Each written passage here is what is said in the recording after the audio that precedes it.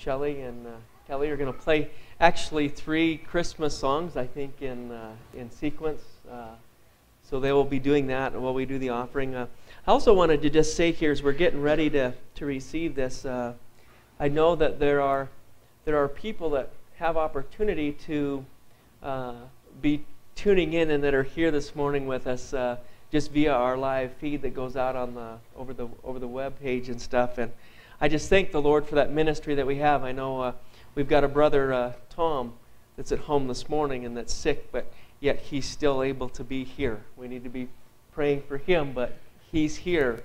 Uh, I know uh, Elaine has a, a son out in California, Braden Stevens, and Braden loves the story that Elaine read this morning and if he wasn't able to tune in live with us, he was going to catch it later. YouTube. So amazing what the Lord uh, does for us, and I thank the Lord for that. And uh, just be thinking of uh, also uh, Ria and uh, Jack Cardwell.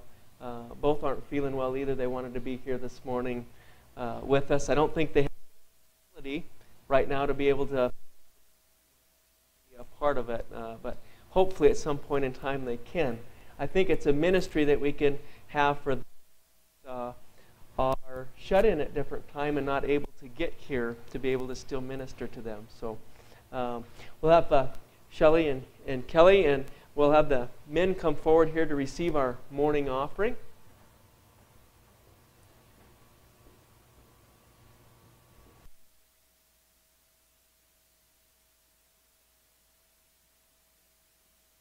to.